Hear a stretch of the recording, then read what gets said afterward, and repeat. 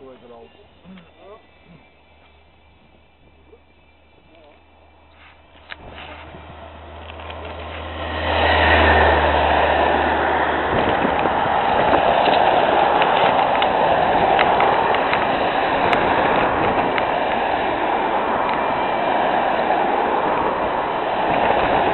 we are, we're in West Flanders.